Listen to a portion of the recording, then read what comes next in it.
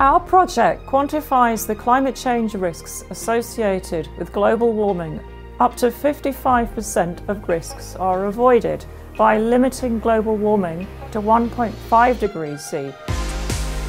We quantified enormous reductions in drought and heat stress in India and China, which are currently being showcased at the UN Framework Convention on Climate Change at Katowice in Poland.